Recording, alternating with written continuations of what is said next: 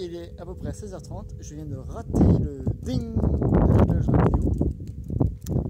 Alors, juste après, quelques minutes après avoir été parti euh, de mon repas, j'ai eu le droit à quelques gros escaliers bien méchants, mais des gros escaliers bien méchants qui m'ont empêché de, bah, de.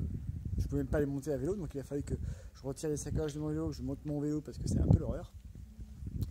Puis après, les chemins, c'est principalement des chemins euh, de cailloux, donc ça monte, ça descend, c'est pas.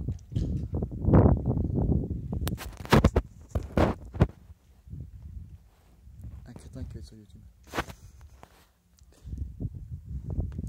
Bref. Euh, donc euh, là, je suis euh, apparemment à 17 km de mon objectif.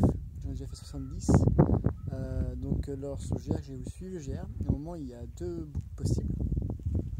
Et, et sur une des deux boucles, euh, eh ben, il était inaccessible, c'était ultra plein de ronces. Donc je me suis essayé de passer et je une, un mollet par des ronces. Donc j'ai laisse tomber, on prend le chemin et apparemment sur la carte c'était plus court. Donc je gagne quelques kilomètres. Bon, ça va. Ensuite ça monte, ça descend, ça commence à être bien vallonné. Et alors je vous montrer aussi la belle petite vue qu'on a maintenant qu'on est arrivé euh, en hauteur, sur les monts.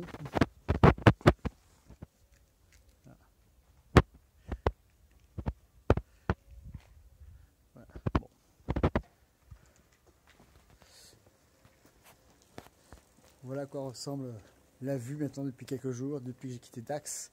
J'ai quitté tout ce qui était euh, le sable, les pins, les lignes droites. Et, bah, et les chemins sont vraiment plus sympathiques.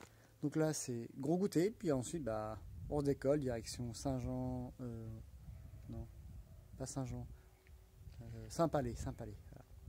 Bah, J'ai plus d'assistante, donc c'est un peu compliqué de retenir les noms.